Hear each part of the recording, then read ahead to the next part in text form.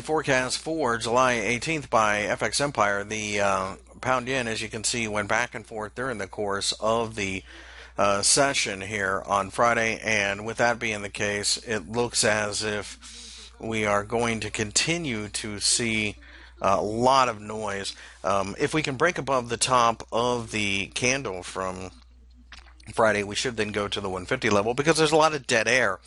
I think at this point, though, a breakdown below the bottom of this candle probably has us looking for 135.